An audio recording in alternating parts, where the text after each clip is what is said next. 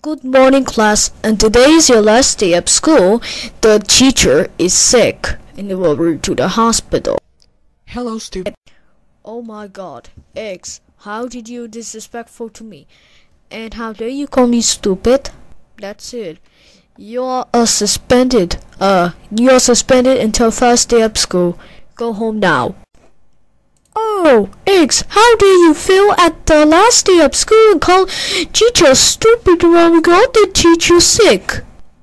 That's it. You grounded forever. Now go to your room right now. Oh! I really like the comments below. See your subscription.